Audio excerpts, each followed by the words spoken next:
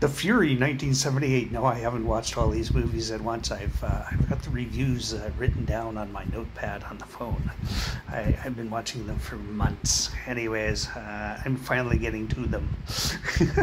uh, this is on Disney again. Uh, it's uh, a, a CIA, a former CIA agent that is, uh, has a son who's telekinetic and uh, this uh, shadowy government agency has kidnapped him, of course, uh, because you know it's the 1970s and they literally were experimenting with uh, psychic research in, in the government there. Uh, but anyways, spent a lot of money on it too.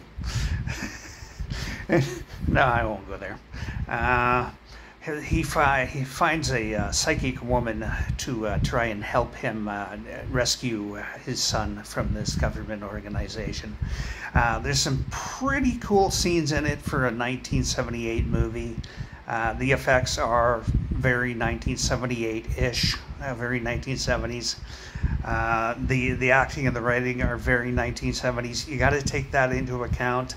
It is not like a, a film from today. It, it, it, just it isn't to that standard. But if you take it in the light of how old this movie is, uh, you should probably be able to enjoy it.